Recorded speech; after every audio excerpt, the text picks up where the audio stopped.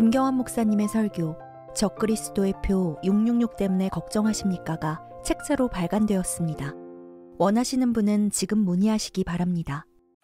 오늘은 42번째 한국 목사 평론 시간으로서 유기성 목사에 대해서 평론을 하고자 합니다.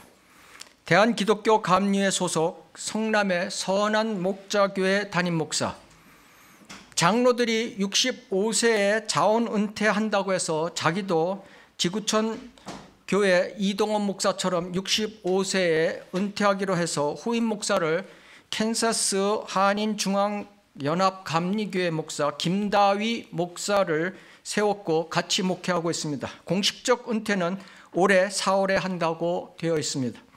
유튜브 구독자 23만, 은퇴 후 현재 이사장으로 있는 With Jesus Ministry WGM이라고 이제 공식 명칭이 되어 있죠. With Jesus Ministry에 전념하겠다고 유기성 목사는 WGM을 2012년부터 시작해서 한국 및 전 세계에 퍼뜨려 그 명성이 알려진 목사인 것입니다.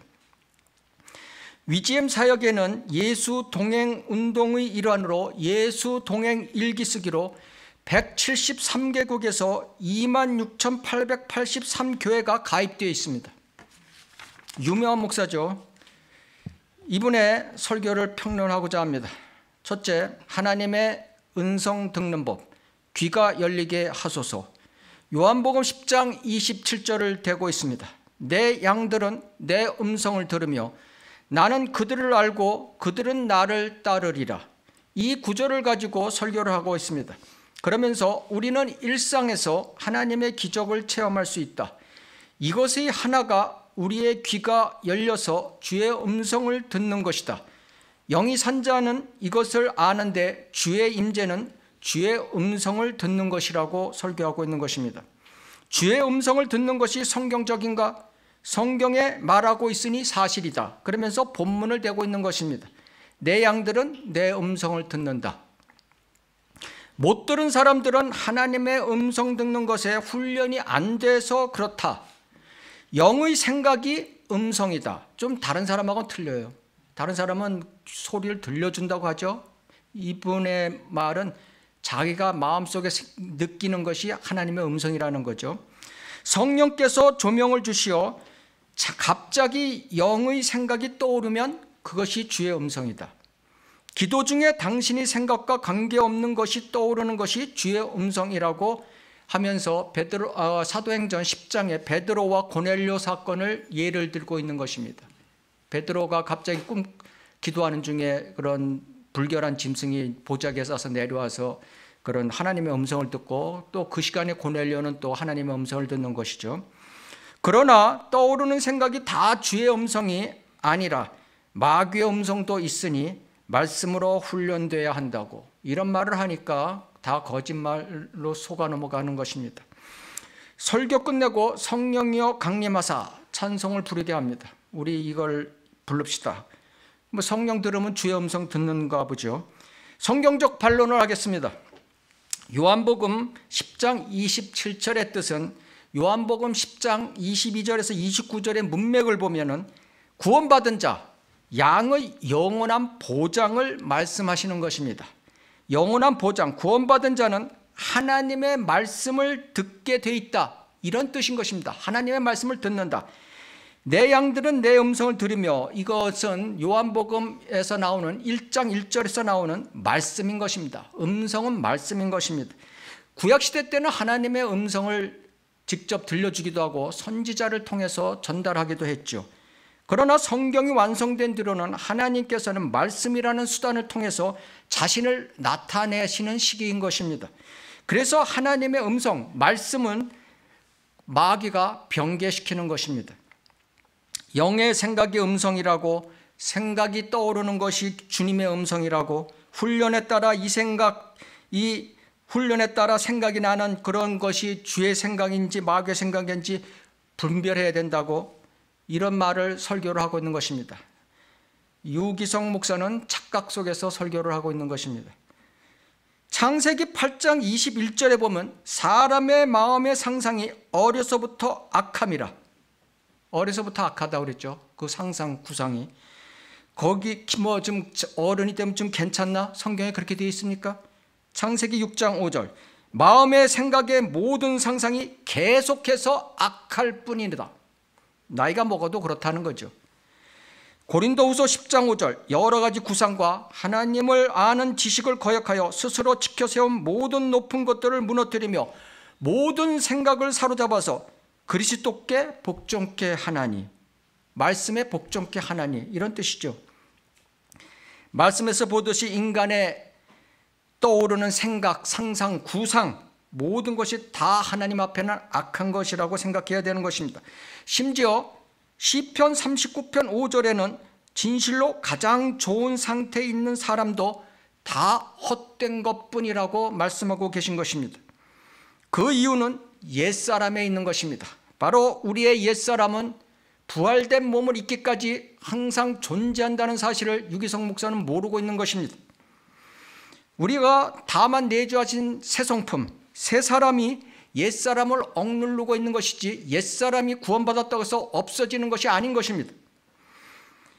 세 번째, 훈련으로 주의 음성을 분별한다고 이 뜻이 무엇인가 하면은 개개인의 영적 변화, 즉 내적 능력을 훈련 개발시키는 것이 무엇인지 모르고 얘기하는 것입니다. 바로 이것이 뉴 에이지 운동인 것입니다. 뉴 에이지 운동. 궁극적으로 우주 차원의 신의 경지에 도달하려는 계획인 것입니다. 이것은 위험한 짓으로 교인들을 모두 위험한 마귀의 자녀로 빨려 들어가게 하고 있는 것입니다. 이 시대는 하나님의 음성을 듣는 시대가 아니라 하나님께서 말씀을 통해서 우리에게 하나님의 뜻을 전달하는 시기입니다. 그래서 음성 듣는 시기가 아니라서 이 교회 시대는 우리가 침묵의 시대, 하나님의 침묵의 시대라고 표현하고 있는 것입니다.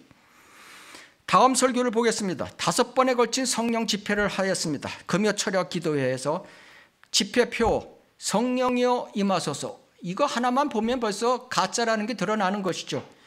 반드시 성령의 인도하심을 구하라. 그러면서 사도행전 1장 8절을 됩니다. 성령께서 너희에게 임하시면 너희가 능력을 받으리니 그러면 예루살렘과 온 유대와 사마리아와 땅 끝까지 이르러 내게 증인이 되리라. 은사주의 목사들이 잘 써먹는 구절이죠. 이 구절을 대면서 오늘 여기에 모인 여러분은 성령으로 세례받고 권능받으라고 구원 못 받은 자만 다 모아놓고 지금 하는 거예요. 지구촌교회는. 왜 나는 성령의 권능이 없는가 하는 분들 본문을 보세요. 우선 전제 조건이 너희에게 성령이 임하면이다. 그런데 성령도 임하지 않고 능력만 받으려고 하니까 하나님께서 능력을 주시겠냐? 인격자 하나님께서 섭섭하셔서 선물을 주시겠냐? 이렇게 설교를 하고 있는 것입니다. 그러면서 간증을 하고 있는 것입니다. 유목사 본인도 신유 음사가 없었다고 그러나 기도하고 거룩함과 사랑으로 성령님을 찾으니까 성령의 치유 역사가 2007년 금요 철야 기도에서 일어나기 시작했다. 2009년에 더 많이 일어났다. 2년간 호황을 누려 노렸다는 뜻이죠. 그래서 이런 현상이 성령의 역사인지 실험을 했다고. 성령의 역사인지 실험을 했대요, 자기가. 쓰러지는 사람들이 있어서 제가 안 하고 유목사가 안 하고 부목사들을 몽땅 시켰어요. 자기는 앉아서 성령의 역사라면 쓰러지게 해주세요 하고 기도만 하고 있었고 부목사들이 다 했는데 그날도 역시 다 쓰러졌다. 머리에 손을 대기도 전에 부목사가 했는데도 쓰러지더라. 그런데 그 이후에 깨달은 점은 마귀의 역사가 같이 오더라고. 여기에다 속아 넘어가는 것입니다. 마귀의 역사가 같이 오더라고. 다른 목사들하고 좀 틀리죠. 은사주의 목사들하고. 성령의 능력이 일어나니까 교회에 모인 수는 많아졌으나 안수 기도와 통성 기도 시간에 교인들을 보니 어느 목사에게 더 많은 사람이 쓰러지나 싹 보고 있더라고. 그래서 내가 아 이거는 마귀의 역사가 지금 임하고 있구나 하고 그것을 중단하고 그 다음에 바꾼 사역이 예수 동행 일기라고 제가 조금 이따 예수 동행 일기가 무엇인지 말씀드리겠습니다. 깨달았을 때 마귀가 지금 속이고 있다는 것을 깨달았어야지 엉뚱한 것을 깨달은 거죠.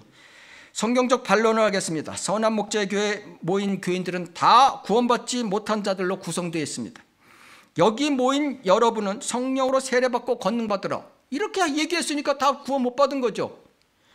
하나님의 은혜의 복음을 믿음으로 믿으면 성령이 내주해서 성령 침례, 성령 세례를 그들이 말한 성령 세례를 받는 것이지 유목사 말대로 성령 세례 또 막 받고 구원받은 또 무슨 뭐 성령 침례 또 받고 뭐 지금 얘기하는 것이 지금 앞뒤가 맞질 않는 것이죠. 본문서 성령이 임하면 능력을 받는다고 했습니다. 그래서 이 구절을 됐죠.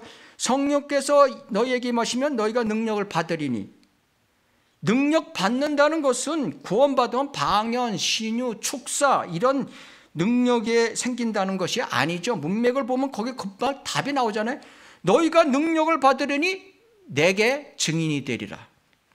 이 증인이 된다는 것은 복음과 진리를 전파한 자는 자가 된다는 뜻이죠. 그 디모데 후서 1장 8절을 보면은 하나님의 능력에 따라 복음을 위하여 고난의 동참자가 되라. 이렇게 되죠. 하나님의 능력을 지금 걔네들은 잘못 알고 있어요. 고린도전서 2장 4, 5절 내 말과 내 설교를 설득력 있는 인간의 지혜의 말로 하지 않고 성령과 능력을 나타내므로 하였으니 설교도 하나님의 능력으로 하는 것이죠. 성령의 역사를 실험했다고 하는 것입니다. 이 믿음 생활하면서 저는 성령의 역사를 실험했다는 목사의 말은 또 처음 듣습니다. 오산리 기도원에 가서 자기 방언 못하니까 목사가 방언하게 해달라고 나무뿌리 뽑아지도록 주님을 주님께 간구하고 뭐 주님을 실험한 적 그런 얘기는 들었죠. 또 어떤 목사는 제가 며칠 전에 한 어떤 전번에 한 평론한 목사는 목사님 하나님 내가 목사로 부름 받았다는 증거를 보여주십시오. 그리고 산 꼭대기에 가서 아무도 없는데 자기가 저기 목사라고 한가 음성만 들려주십시오. 너는 내가 지정 택한 목사라 음성을 들려주십시오. 해도 해도 안 나오니까 하나님 그러면은 김 목사, 김 목사 요것만 해도 여기는 사람이 없으니까 저한테 하는 걸로 알겠다니까 김 목사라고 한번 불러주십시오. 이런 사람은 제가 봤어요. 그런데 이걸 성령의 성령을 실험한다고 성령 역사 실험하는 거 하나님 역 하나님을 실험하는 거예요. 그죠? 예. 자 박혁 전도사가 평론했 박, 박혁 전도사 때 평론했듯이 교회 시대 즉 사도행전 이후로는 AD 68년 이후로는 유대인을 위한 표적의 시대는 사라졌습니다.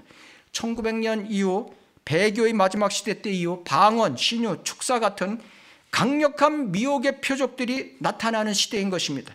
이 그리스도인들은 이것을 명심해야 되는 것입니다. 데살로니가 후서 2장 9절에 분명히 경고하고 있는 것입니다.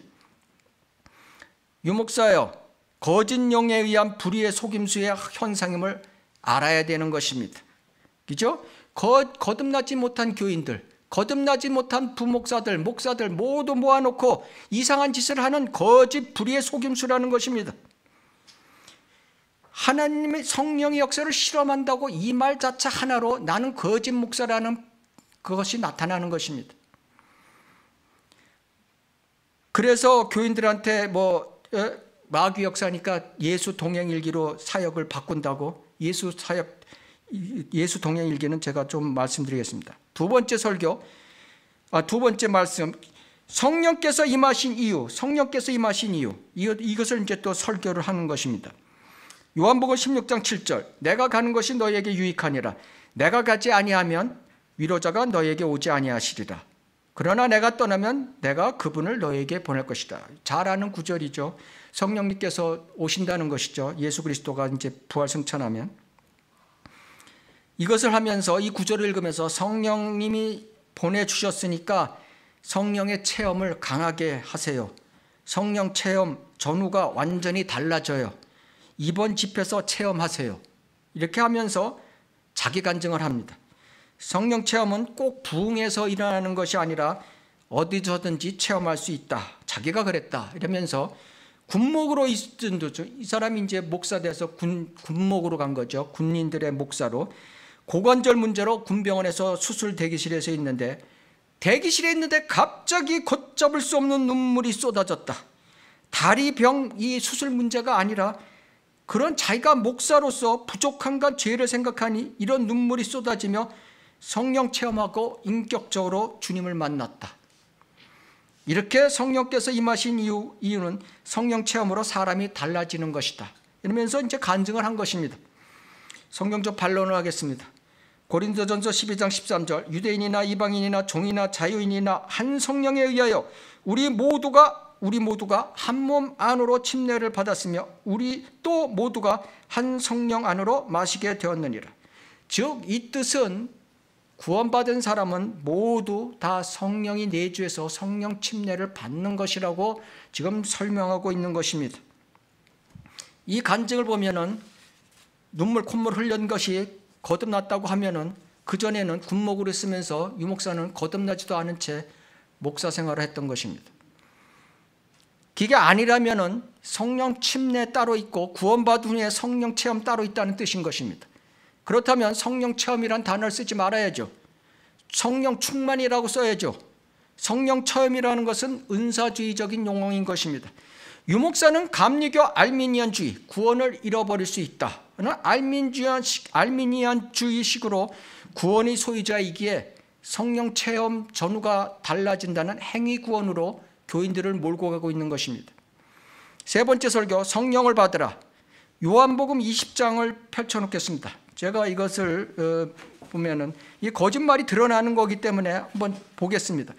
요한복음 20장 19절에서 23절을 설교하면서 이 19절은 부활하신 주, 주, 주님이 부활하셔서 그 주의 첫날 제자들은 유대인을 도, 두려워하여서 문을 잠그고 있었고 주님이 그때 들어오셔서 평강이 있으라 이렇게 하시고 20절에 보면 손과 옆구리를 보여주시니 제자들이 주를 보고 기뻐하는 장면인 것입니다.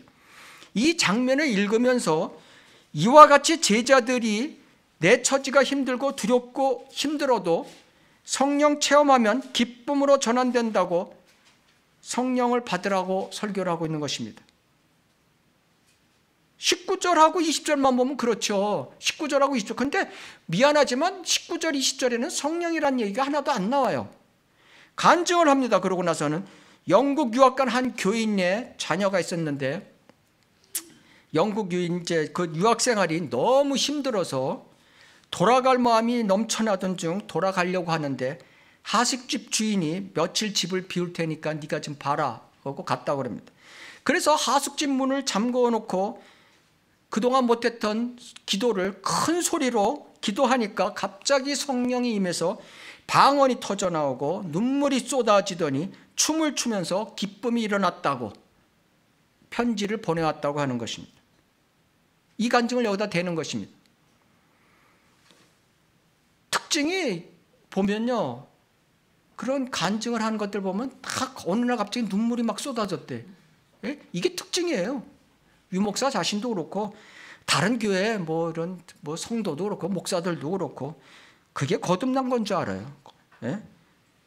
감정에 복받쳐서 하는 것이지. 성경에 어디 구원받으면 예? 성령이 임하면 기쁨 감사로 인해서 눈물이 리본복대에 쏟아진다는 성경 구절이 어디 있어요? 성경적 반론하겠습니다. 본문의 뜻은 제자들은 부활하신 주님을 못 봤습니다. 그래서 소문만 듣고 있어서 유대인들이 니네들이 뭐 훔쳐갔냐 뭐 이런 식으로 할까봐 두려워서 문을 잠그고 있었던 것입니다. 그때 주님이 들어오셔서 그 직접 모습을 보여주고 손과 발 이런 걸 다 찔린 자리 또 보여주고 하니까 기쁨이 넘쳤다는 것입니다. 이 구절이 그런 구절이죠. 그리고 나서 22절에 보면은 성령을 받으라. 그때 성령이 나오죠. 성령을 받으라. 그랬더니 23절에 보면 성령을 주신 이유가 죄 사함의 능력을 주시기 위해서다. 딱 정확하게 가르쳐 주시고 계신 거죠. 그러니까 유 목사가 설교한 내용은 틀린 것입니다. 짜집게 한 것입니다. 밑에 것을 위에다 갖다 붙여놓고 뭐 두려움이 뭐 어쩌고 저쩌고 성령 받아서 기뻤다. 이게 말이 돼요? 간증도 그런 식으로 하고 짜집기 설교를 하고 있는 것이죠. 자 오늘의 핵심 주제인 성령 일기, 예수 동행 일기. 이거 저 처음 들어봅니다. 이거 근데 엄청 제도교에서는 엄청 유명해갖고 뭐 제, 성령 예수 동행 일기 책이 나오고 또 노트도 나오고 그 쓰는 거 일기 쓰는 거.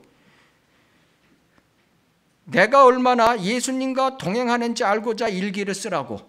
보이지 않는 예수님과 일기를 쓰는 것이 처음에는 어렵지만 점점 괜찮아진다고.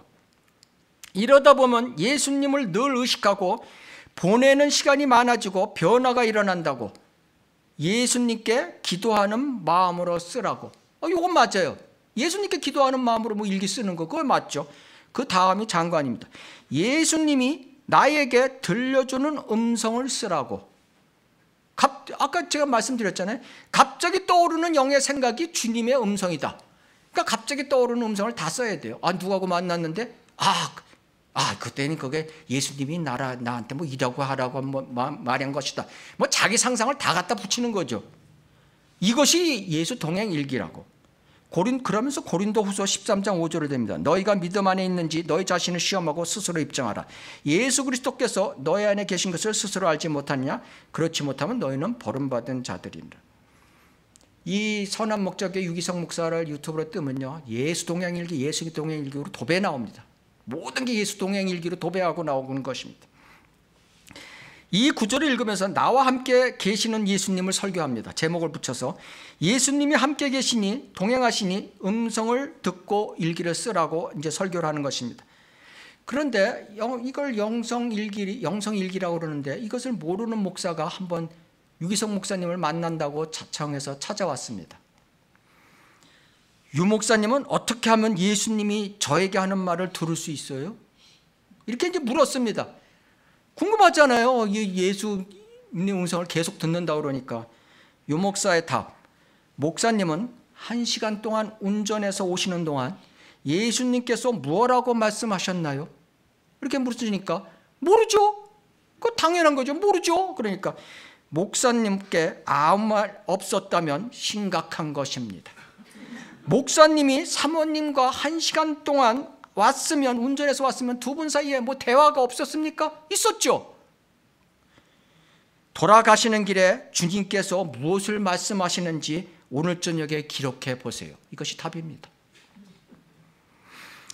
또 두 번째, 영성 일기를 나눔 방에서 나눔 줄 알아야 한다고. 세상에 일기를 남에게 나눠서 본다. 나 이런 일기는 또 처음 봐요. 예? 일기가 어떻게 다른 사람하고 나눠서 봐요? 딸이 쓴 일기 엄마가 보면 난리 나는데. 그러면서 혼자 여행하는 것과 여럿이 여행하는 것의 차이라고. 긴 여행을 할 때는 혼자 여행이 어렵다. 믿음 생활도 마찬가지다. 그래서 나눔방에서 일기를 나누면 다른 성도를 먼저 의식하는 자가 되는 것이라고 물론 이 뜻은 다른 성도를 챙겨준다는 뜻으로 설교를 했으리라 저는 생각이 돼요. 그렇지만 이 말은 명언 중에 명언인 것입니다. 그죠?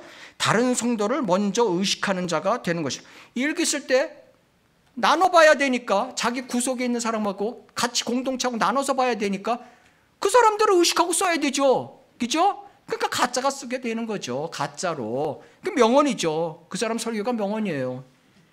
자신도 성실과 열심으로 의롭게 최선을 다했어도 충분치 않은 무엇인가가 있었다. 목회 생활하면서 왕이신 예수님을 바라보지 않았고 왕이신 주님의 지시에 귀 기울이지 않았다고 그것이 죄였다고.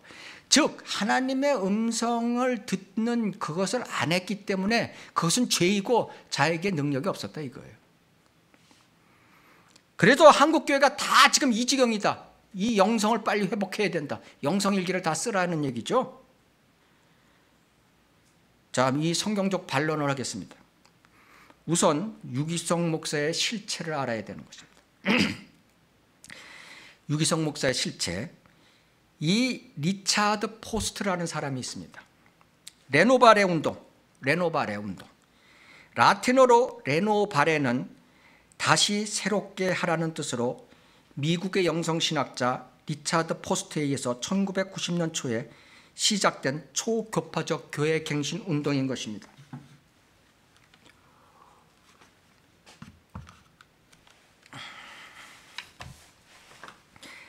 이 카톨릭의 영성 전통을 수용해서 신비주의 내지는 혼합주의적 경향을 한 영성 운동으로서 명백한 뉴 에이지 운동인 것입니다. 레노바레 운동의 목적은 하나님의 사랑을 인격적으로 체험하는 일. 그래서 제가 요새 평론을 하면서 느끼는 것이 인격적 체험, 인격적 체험이라는 단어가 많이 나오죠. 이것이 바로 벌써 레노바레 운동의 영향을 많이 받았다는 거예요. 한국 교회들이. 이것을 배우러 이동원 목사, 지구촌교회 이동원 목사 10여 명이 미국 집세, 집회에 참석해서 이걸 배워갖고 와서 한국에 레노바레 코리아, 레노바레 코리아를 만들고 한국 교회를 한국 교회에 퍼뜨렸던 것입니다. 이 기관의 이사가 바로 유기성 목사였습니다. 이 레노바레 운동은 즉 침묵 속에서 자신의 내면으로 들어가 하나님의 임재를 체험하면서 스스로가 변화되고 이로 인해서 교회 이웃을 새롭게 한다는 운동인 것입니다. 결국 관상 기도에서 온 것이고 뉴에이지 운동인 것입니다. 이게 우리가 뉴에이지 운동, 뉴에이지 하니까 잘 모르는 분들이 많아요. 뉴에이지 운동의 정의는 개개인의 영적 변화, 즉 인간의 내적 능력을 개발, 훈련시켜 우주 차원에 도달하는 것이 바로 구원이라고 생각하는 운동이에요. 이게 아주 무서운 것입니다. 결국은 뭐냐면 우주의 신의 경지에 도달하는 거예요, 인간이. 두 번째, 유목사의 페이스북 칼럼을 보면은 두 사람을 언급했습니다. 2016년 5월 1일 페이스북 칼럼. 달라스 윌라드, 달라스 윌라드. 이 사람 죽었어요, 2013년에. 이 사람은 예수를 모르는 사람도 구원받을 수 있다고 말한 미국 영성운동 철학자인 것입니다. 존 오트버그, 이 사람은 아직 살아있어요. 장로교 목사죠. 이 달라스의 제자로 With Jesus, 예수와 전번주에 제가 말씀드렸죠. 예수와 예수와 이게 무슨 뜻인지 몰랐다고 박혁이 예수와 예수와 With Jesus를 한국말로 하면 예수와 예수와예요. 예. With Jesus란 표현으로 미국의 관상 기도를 퍼뜨린 있는 것입니다. 존 오트버그. 우리가 Only Jesus, With Jesus 이것은 성경적인 용어이지만은 이것을 굉장히 조심해야 되는 것입니다. 더 부정적인 요소가 더 많다는 것입니다. 유목사는 36회 평론한 이동원 목사가 운영하는 가평 필그림, 필그림 하우스에 가서 이 달라스, 달라스 윌라드는 뿌리 깊은 나무며 예수님이 표정을 볼 수 있는 분이라고 극찬을 한 사람인 것입니다. 그의 영성 운동이 뿌리 깊게 내리기를 기도한다고 한 사람인 것입니다. 결론적으로 이런 사상에서 유래된 영성 일기는 24시간 하나님의 내적 음성을 들으며 예수와 동행하기로 가는 뉴에이즈 관상 기도의 한 종류라는 것을 여러분은 알아야 되는 것입니다. 유목사가 인용한 고린도후서 13장 5절에 예수 그리스도께서 너희 안에 계신 것을 스스로 알지 못하느냐? 그렇지 못하면 너희는 버림받은 자들이라 이 뜻을 이 구절로 갖고 예수님과 함께 있으니 예, 수님의 음성을 듣고 일기를 쓰라고 설교를 했는데 그러면 이 구절로 보면 예수님의 음성을 못 들은 교인은 구원 못 받은 자라는 결론이 나오는 것입니다. 구원받은 자로 하나님이 내 안에 계신 증거는 하나님을 하나님의 말씀을 믿냐? 내가 내 안에 성령이 계신 증거가 이거라는 거죠. 내가 하나님의 말씀을 믿냐? 요한복음 4장 23절. 영생을 믿냐? 요한일서 5장 12절. 내가 잘못하면 내가 하나님과로부터 징계를 받고 있냐? 히브리서 12장 8절. 이것을 스스로 아는 자가 구원받았다는 뜻이지 성령이 내주한다는 뜻이지 어떻게 그것이 영성일교하고 연관이 되는 것입니까? 이것을 스스로 알지 못하는 자는 구원 못 받은 걸로 간주하라는 하나님의 말씀인 것이죠. 구원받았다고 하면서 하나님의 말씀을 안 믿고 내가 영생을 얻는 그건 안 믿, 그건 안는 구원 못 받은 것이죠. 하나님의 음성 듣기에서 설명했듯이 가장 좋은 상태에 있는 사람일지라도 마음의 상상, 구상 모든 생각은 어려서부터 악하다고 성경은 말씀하고 계신 것입니다. 인간의 육신의 몸은 있고 있는 이상 우리는 육신적 계획 성품으로 살려는 취향이 있는 것이죠. 그래서 하나님 예수님께서 음성을 듣고 일기 쓰고 큐티식으로 나눈다는 것은 위험천만한 마귀의 영에 자각당할 수밖에 없는 것입니다. 즉 왜곡된 느낌, 감동, 깨달음, 음성, 상상력을 부추기는 미혹의 영의 길로 서서히 잠식당할 수밖에 없는 것입니다. 2008년 유목사가 쓴 나는 죽고 예수로 사는 사람이란 책이 있습니다. 거기에 보면 왜곡된 상상력으로 하나님의 음성을 듣는다는 얘기가 나오는 것입니다. 즉 예수 동행 일기는 신앙의 개토화를 익히는 것입니다. 신앙의 강제적 사유화가 될 수 있다는 뜻인 것입니다. 주님께서는 구원을 받은 그리스도인 안에서 그리스도인 안에 거주하심으로써 우리는 주님과의 교제가 필요한 것입니다. 이 교제는 호흡과 같은 것입니다. 이 교제는 하나님과의 교제는 들숨 날숨 호흡이죠. 내쉬는 쉼, 들이쉬는 쉼이 있어야 되는 것입니다. 들으시는 쉼은 받는 것이죠. 말씀으로 우리가 들이셔야 되는 것이고 내쉬는 쉼은 기도로 내쉬는 것입니다. 하나님의 말씀이 곧 우리에게 들려주시는 하나님의 음성인 것입니다. 이 음성인 말씀에 다른 것을 드리려 하는 것은 하나님이신 말씀을 부인하는 즉 외경을 또 찾으려는 그런 것과 똑같은 것입니다. 교회 시대 주 예수 그리스도의 자신이 말씀이여 주 예수 그리스도도 자신이 말씀이어서 그 말씀이란 수단으로 자신을 나타내셨습니다. 요한복음 1장 1절 태초에 말씀이 계셨고 그 말씀이 하나님과 함께 계셨으니 그 말씀은 하나님이셨느니라. 곧바로 요한복음 1장 14절에 보면 그 말씀이 육신이 되어 예수 말씀이 예수 그리스도라는 얘기죠. 그죠? 계시록 22장 13절 나는 알파와 오메가요 시작과 끝이며 처음과 마지막이라. 계시록에 네 번 나오죠. 계속. 이 알파는 헬라의 첫 번째 철자고 오메가는 헬라의 마지막 철자죠. 그러니까 결국은 알파와 오메가라는 뜻은 성경 알파벳의 처음이요 끝, 즉 성경의 모든 말씀을 뜻하는 것입니다. 나는 성경의 모든 말씀이다. 이것을 지금 얘기하고 계신 것입니다. 그래서 주 예수 그리스도는 이꼬로 말씀이다. 하나님의 말씀이다. 주께서 예수 그리스도로 성육신하서 오셔서 하신 말씀과 그렇죠? 예수 그리스도님과 기록된 하나님 말씀, 성경 말씀은 같은 것이라고 성경에 넘쳐나는 공통점들이 넘쳐나고 있습니다. 둘 다 신성이 있다. 그렇죠? 예수 그리스도와 말씀은 둘 다 신성이 있는 것입니다. 다 관련 구절 다 있습니다. 시간상 생략하겠습니다. 둘 다 사랑받았다. 둘 다 증오받았다. 둘 다 영접할 수도 있고 거부할 수도 있다. 둘 다 사람을 구원할 수 있다. 둘 다 심판한다. 둘 다 오류가 없다. 둘 다 거듭나게 할 수 있다. 둘 다 영원한 생명이 있다. 둘 다 영원히 산다. 이것이 예수 그리스도와 말씀의 공통점인 것입니다. 요한복음 3장 16절 시간상 하고 영원한 생명이라는 것을 제가 하나 예를 드리겠습니다. 요한복음 3장 16절 하나님께서 세상을 이처럼 사랑하사 그의 독생자를 주셨으니 이는 그를 믿는 사람은 누구든지 멸망치 않고 영생을 얻게 하려 하십니다. 예수 그리스도가 영생을 주신다는 뜻이죠. 요한복음 6장 63절 살리는 것은 영이니 육은 저녁 무익하니라. 내가 너희에게 한 말, 성경 말씀이죠. 말은 영이요 생명이니라. 영원한 생명을 얘기하고 계신 것입니다. 말씀은 영원한 생명인 것입니다. 네 번째, 영성 일기를 나눔 방에서 나누라고 21번째 평론 우리들 교회 김양재 목사 이 큐티로 유명한 목사죠. 여자 목사 목욕탕 큐티 즉 관상키 큐티를 얘기하는 것입니다. 이게 무엇이냐?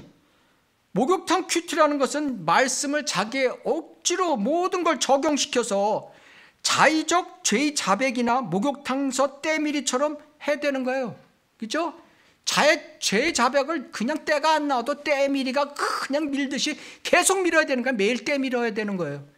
이것이 김양재 목사의 목욕탕 퀴트인 것입니다. 이걸로 유명한 사람인 것입니다. 분당에서. 하나님의 음성이라고 자의적 상상, 구상, 떠오르는 생각들을 나누는 것과 무엇이 틀린 것입니까? 똑같은 것입니다. 그 출신이 똑같다는 거예요. 관상기도에서 나왔어요. 큐티나 영성일기나 공동체에 속해 자기의 삶을 간증하는 것은 미혹의 영에 관장당할 수 있는 것입니다. 그리스도인은 온전하게 되는 그리스도인이 온전하게 되는 길은 성경 말씀을 교회라는 공동체에서 올바른 교리로 책망과 바로잡음과 훈육으로 인해서 옛 성품을 죽여가며 거룩한 삶으로 배우고 신천해 나가는 것이 그리스도인인 것입니다. 다음 설교를 평론하겠습니다. 불안한 구원에 머물러 있지 말라. 고린도후서 13장 5절. 이거 잘 써먹는 거죠. 거짓 목사들이 이것도 또 잘 써먹는 구절이에요. 너희가 믿음 안에 있는지 너희 자신을 시험하고 스스로 입증하라. 예수 그리스도께서 너희 안에 계신 것을 스스로 알지 못하느냐. 아까 말씀드렸죠. 그렇지 못하면 너희는 벌음받은 자다. 이게 왜 잘 써먹냐면 그렇지 않으면 너희는 벌음받은 자들이라. 요것 때문에 잘 써먹는 거예요. 구원을 못 받을 수 있고 구원을 상실할 수 있다는 구절이거든요. 예수 믿어도 구원받지 못할 사람들이 있다고 여기에 여기에 관중에 예수 믿어도 흔들리지 않는 구원에 이르는 것이어야 한다. 그러면서 로마서 우리가 잘 아는 로마서 10장 9절 10절 13절을 댑니다. 마음으로 주 예수를 믿고 주의 이름을 부른 자는 누구나 구원을 받으리라. 이것을 대고 고린도전서 3장 1절과 13장 1절을 대면서 11절을 대면서 육신적 고린, 도 교회 교인들이 어린아이 같은 교인 또 장성한 어린이 된 뭐 교인들 이것을 하면서 이 사람들은 구원 받았다고 성경에 나와 있다. 이렇게 얘기하고 반면에 마태복음 7장 16절에 보면은 너희는 그들의 열매들, 열매로 그들을 알게 되리니 사람이 가시나무에서 포도를 엉경크에서 무화과를 거둘 수 있겠느냐? 이거 구절을 대면서 열매가 없으면은 하나님의 사람이 아니다. 구원 못 받은 것이다. 이렇게 이 구절은 설명하고 있다. 마태복음 7장 21절 나에게 주여 주여 하고 부르는 자마다 다 천국에 들어가는 것이 아니요 하늘에 계신 나의 아버지의 뜻을 행하는 자라야 되느니라. 이것도 많이 써먹는 구절들이죠. 주님을 믿어도 하나님의 뜻대로 행하지 않으면 구원 못 받은 것이다. 여기에 이렇게 돼 있으니까 결국 믿으면 구원받는 것이 틀림없이 중요하지만 그 믿음이 어떤 믿음인가가 중요하다. 이렇게 설교를 하고 있는 것입니다. 북한에 가서도 그렇게 고백할 수 있나? 할 수 있는 사람이 진짜 믿음이고 이것을 하는 사람이 구원의 확신이 있는 자다. 이렇게 결론을 내버린 것입니다. 로마서 10장 9절, 10절, 13절은 이것은 무슨 얘기냐면 예수 믿고 감옥에 가 있는 사람이 이런 걸 예수 이름을 고백할 수 있으면 구원받은 자다. 이런 뜻이라는 거예요. 세상에. 아, 짜집기도 잘해요.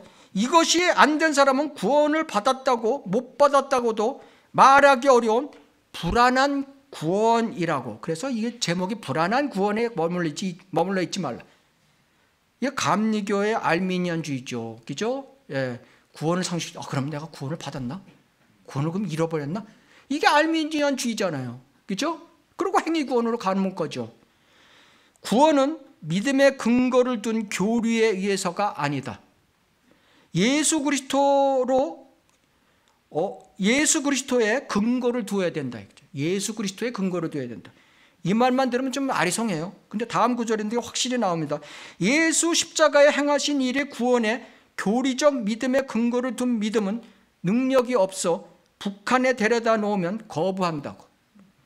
복음의 능력은 속죄가 아니고 예수와의 연합으로 예수와의 인격체의 교제가 핵심이라고.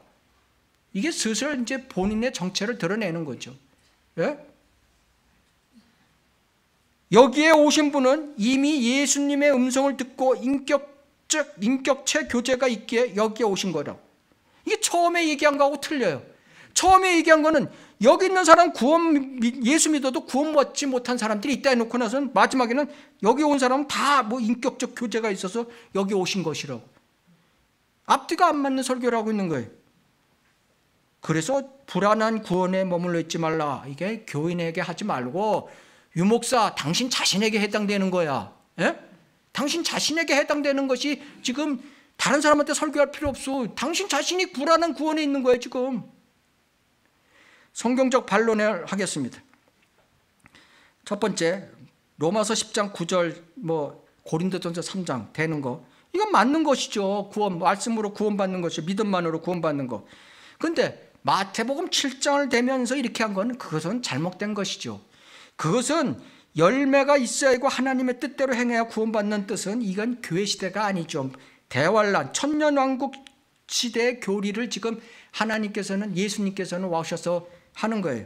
마태복음 5장 7절은 주님이 초림 사역에 있어서 이스라엘 백성이 메시아로 주 예수 그리스도를 받아들였을 때 천년왕국에서의 행위 구원을 지금 설명하고 있던 것이죠. 이것을 교회 시대에 적용시키니까 이상한 교리가 나오는 것입니다. 공상당 앞에서 주님, 죽음 앞에서, 감옥 앞에서 주님을 부인 안 해야 구원받은 자라고 하는 것은 구원이 어떤 노력이나 수고가 따라야 한다는 행위 구원을 얘기하고 있는 것입니다. 복음은 어린애처럼 순수히 받아들이면 구원을 얻는 것이고 그 후에 행함은 그리스도인이 점점 성장해서 거룩하고 강건케 해주는 성화되는 과정을 얘기하는 것이죠. 구원받은 자가 어려울 때 주님을 부인하면 어떻게 되냐? 성경에 나와 있습니다. 성경에 나와 있어. 예? 성경에 뭐라고 했냐? 디모데후서 2장 12절 그, 아, 우리 디모데후서 2장 10절 보겠습니다. 디모데후서 2장 이것을 모르는 사람들이 너무나 많아요. 아니 순교 당해야 꼭 구원받는 거예요? 예? 감옥 가야 꼭 구원받는 거예요? 디모데후서 2장 10절 그러므로 내가 택함 받은 자들을 위하여 모든 것을 참으면 그들도 그리스도 안에 있는 구원을 영원한 영광과 함께 얻게 하려 함이라. 이 말씀은 신실하도다. 우리가 그와 함께 죽었으면 또한, 또한 그와 함께 살리라. 우리가 참으면 우리가 참으면 이 교회 시대의 고난을 참는 시대죠. 우리는 교회 시대의 고난을 참는 그리스도인이 되어야 되는 거예요. 우리가 고난을 참으면 우리도 그와 함께 다스릴 것이요. 이것은 천년왕국을 얘기하는 거죠. 우리가 그를 부인하면 그 문맥을 보면은 영원한 영광과 함께 얻다고 10절에 나와 있죠. 그래서 문맥이 그렇다는 뜻이에요. 우리가 그와 함께 다스릴 것이요. 우리가 그를 부인하면 그도 우리를 부인할 것이다. 이것은 천년 왕국에서 우리가 상급을 못 받는다는 뜻인 것입니다. 천년간 통치를 못 한다는 뜻이죠. 우리가 믿지 아니하여도 공산당에서 고문당에서 아유 나 주님 안 믿어요 이렇게 얘기해도 그는 항상 신실하시니 그는 스스로를 부인할 수 없습니다. 왜? 이미 주님이 머리가 되시고 우리는 지체가 된 한 몸이기 때문에 부인할 수 없다는 거예요. 그렇죠? 우리는 한 몸이다. 이거 부인할 수 없는 거야. 내가 공산당에 가서 자식이 뭐 공, 공상당 앞에서 나는 우리 아빠는 이래요 했다고 그게 무슨 뭐 자식하고 부모하고 자식 간의 사이가 없어지는 거예요? 아니죠. 그런 뜻을 지금 디모데 후서에서 정확하게 얘기하고 있는 것입니다. 구원받은 어린아이나 어린이나 북한에 가서 나 예수 안 믿어야 했다고 해서 구원 산신되는 것이 아닌 것입니다. 우리가 그래서 구원받은 후에도 모든 것을 다 할 수 없기에 주 예수 그리스도께서 십자가에서 죽으셨다는 사실을 그들은 모르고 있는 것입니다. 복음이 세 번째 복음이 믿음의 근거를 둔 교리가 아니라 예수님의 인격체 교제로 인격적 관계를 맺으면 죄 안 짓는 핵심이라고 교리 교리 하지 말라고 첫 번째 구원은 복음만 알면 되지 언제 예수님을 알아 인격적 교제를 해 구원을 얻냐 유목사 당신은 완전 인격적 교제를 지금 하고 있어? 예? 갓 거듭난 어린애가 언제 거듭난 사람이 언제 인격적 교제를 언제 하냐 이거야 인격적 교제를 인격적 교제라는 단어가 뭔데 아무것도 모르는 사람이 인격적 교제를 할 수 있어요? 그럼 성경을 모르면 인격적 교제를 할 수 없는 거예요. 성경을 완전히 다 알아야지. 또 그 예수는 어떤 예수냐? 제가 보기에는 그 예수는 그 인격체로 다가오는 예수는 진짜 주 예수 그리스도가 아닌 것 같은데? 예? 예수라고 자칭하는 어떤 영인 것 같은데? 또 교리가 무엇인지 모르고 헛소리하지 말라고요 교리가 뭐냐 교리의 정의는 절대적 진리의 가르침이 교리의 정의예요 이것은 킹제임스 성경 한글 킹제임스 성경에 55회 나옵니다 개혁 개정에는 빵 없어 교리 없어 그러니 교리에 대해서 당연히 모르죠. 세 번역, 지구촌교회 세 번역을 써요. 새 번역에는 찾아보니까 다섯 번 나오더라고요. 다섯 번. 디모데후서 3장 16, 17절. 모든 성경은 하나님의 영감으로 주어진 것으로 교리와 책망과 바로잡음과 의로 훈육하기에 유익하니 이는 하나님의 사람이 온전하게 되며 모든 선한 일에 철저히 구비되게 하려 하십니다. 이 말을 유 목사는 오늘 공부하세요. 마지막으로 하나님과 화해하라. 고린도후서 5장 1절 7절을 대면서 얘기하면서 마태복음 7장 21절 또 써먹어요. 나에게 주여 주여 부르는 집마다 천국에 들어가는 것이 아니다. 하나님의 뜻을 행하는 자라야 들어간다. 이걸 또 써먹어요. 뭐 행위 구원을 하려니까 계속 같은 구절 반복하는 거죠. 이 구절을 대면서 본문의 고린도 후서 5장 9절. 이 때문에 우리가 애쓰는 것은 거하든지 떠나 있든지 기분을, 그분을 기쁘시게 해드리기를 바라는 것이다. 봐라! 아버지의 뜻을 행하고 기쁘시게 해드린 자는 천국에 들어간다고 이렇게 얘기하고 있는 것입니다. 완전 짜집기 설교죠. 아니, 마태복음 7장과 고린도 후서 5장이 어떻게 가, 이걸 연결시켜서 어떻게 얘기를 해요? 마태복음 7장은 대환란의 행위 구원을 얘기하는 거고 고린도전 고린도후서 5장은 구원받은 자에게 해당하는 것입니다. 구원받은 자에게 예? 구원받은 자는 하나님을 기쁘게 하는 삶을 살아야 된다 이런 뜻이거든요. 그러니까 자기가 행위 구원으로 이것을 뜯어 맞추려니까 짜증게 하는 설교를 할 수밖에 없는 것이죠. 결론을 말씀드리겠습니다. 유기성 목사는 감리교 알미니안 신학을 하여서 한 번 구원은 영원한 구원이 아니라는 다른 유사 복음을 기초로 사역을 하고 있는 것입니다.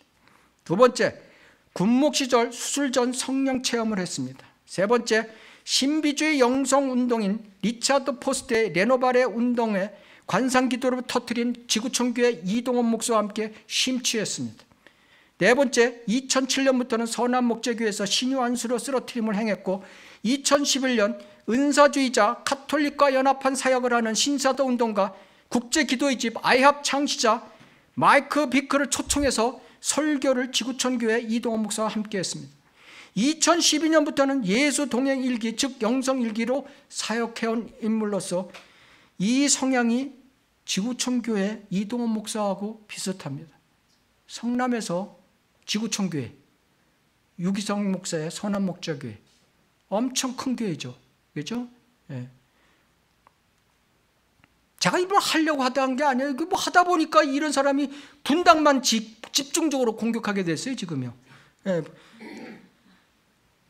제가 뭐 분당을 공격하려고 한 게 아니라 이동원 목사와 함께 교인들로부터 조용하고 점잖게 이 사람 설교 들어보면 아주 나이스해요. 온갖 미사 여구를 다 동원해서 설교하는 특징이 있습니다. 그래서 세상에 인기 좋습니다. 이번 구독자 23만이에요. 구독자 23만. 세상으로부터 평가받는 목사 아주 훌륭한 목사다. 똑같이 더 좋게 하기 위해서 65세에 똑같이 은퇴했어. 둘다 뉴 에이지 운동가인 것입니다. 겉으로는 아닌 척 미혹의 영으로 사역하는 목사인 것입니다. 사람들은 뉴 에이지 운동가 로버트 슐러 릭 워렌, 목적 있는 삶을 쓴 릭 워렌이 의해서 한국 기독교가 영향을 받아서 이런 잘못된 길로 간다는 것을 사람들은 모르고 있는 것입니다. 거기에다가 이 대형교회 하용조 목사, 이동원 목사, 유기성 목사가 또한 뉴에이지 지도자라는 것을 모르고 있는 것입니다. 거기에 지금 애매한 사람들 거기에 다 쫓아가는 거죠, 지금. 다 뭐 지옥으로 몰고 가고 있는 거예요. 이동원 목사는 뉴에이지 운동으로 관상 기도와 cell church, 관상 큐티로 유명한 사람이고 유기성 목사는 예수 동행일기로 지금 유명한 사람인 것입니다. 미혹의 영으로 사역하기에 가난의 영, 분노의 영이 있다고 하나님께서 자기에게 알려주셨다고 거짓 영을 만들고 있는 사람이고 두 번째 하나님의 음성 듣기 훈련으로 영성일기를 쓰라는 뉴에이즈 운동가이고 세 번째 성령의 역사를 왜곡되이 설교하는 성령론이 완전히 틀려 있고 네 번째 믿었어도 하나님의 뜻대로 행치 않으면 구원을 못 받는 것이요 상실된 것으로 설교하는 구원론이 틀린 알미니안 주인 것입니다. 로마서 16장 18절 그러한 자들은 우리 주 예수 그리스도를 섬기는 것이 아니라 자기들의 배를 섬기는 것이니 정중한 말과 그럴듯한 언변으로 순진한 사람들의 마음을 미혹하느니라. 저는 이 사람들이 먹고 살기 위한 배가라고는 보질 않아요. 자기 명성의 배, 자기 명성의 배인 것입니다. 마귀는 항상 달콤한 말과 행동으로 접근한 것입니다. 이런 목사들처럼 마귀가 뭐 무섭게 그런 거 아니에요. 사탄이 창세기 3장의 마귀와 침례인 요한의 그런 사역을 비교해 보십시오. 누가 더 나이스한가? 누가 더 거친가? 유다 이스카리옷이 예수님을 배반하고 와서 예수님께 뭐 따귀를 때렸습니까? 조용히 와서 키스를 했습니다. 사도 바울이 언변이 약하고 서툴고 거칠었습니다. 하용조, 이동원, 유기성 목사가 바울처럼 이렇습니까? nice하고 말도 아주 유창합니다. 고린도후서 11장 15절 그러므로 사탄의 종들이 의의 종으로 가장한다 하더라도 큰일이 아니라 그들의 종말은 그들의 행위대로 될 것이래. 그들을 따르는 자들도 똑같이 될 것이래.